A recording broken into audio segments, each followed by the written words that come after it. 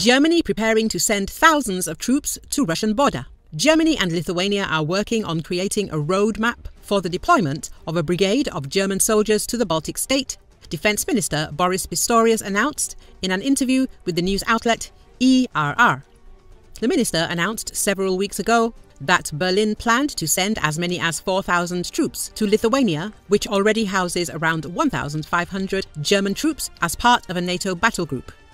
In the recent interview, he explained that the move was being done in order to show solidarity and responsibility in the East Wing.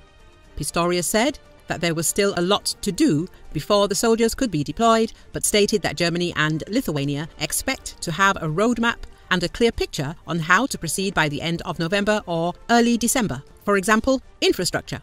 We need barracks, warehouses, training areas, in addition to civilian infrastructure for military families. This is a serious challenge for Lithuania, but also for us. This is unprecedented for the German Bundeswehr.